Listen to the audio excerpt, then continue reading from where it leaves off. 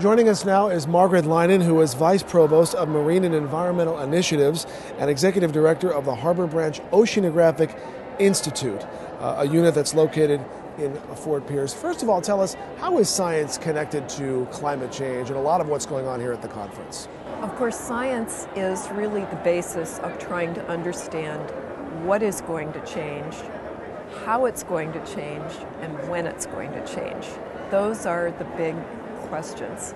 Science has played a critical role in framing this entire discussion uh, about change in climate and climate impacts uh, by early on saying we think that climate is going to change, and then with time becoming more and more specific about that. We know that this has happened. We know that this is likely to happen.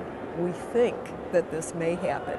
And I think that, that embedded in that, what we know, what we think, what we speculate is really the that's the realm of science and the real challenge in conveying what we know, what we don't know. And there's a lot of different folks here from a lot of different disciplines. What about science and policymakers and the science community understanding sort of the other side of, of the climate change uh, problem? Well, I think that one of our big challenges right now is to have policymakers and resource managers both tell us what they need to know. So, for example, um, if I said that uh, the average rainfall was going to increase in the northern tier states in, in North America, as we think it will from our models, uh, is that what a water manager needs to know?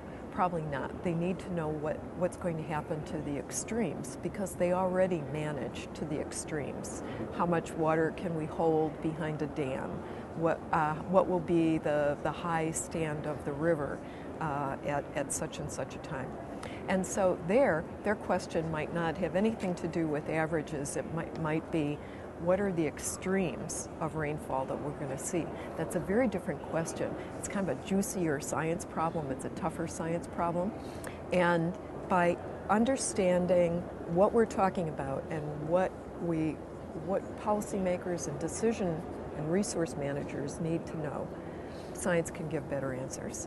Margaret Leinen, thank you for joining us today. Thanks.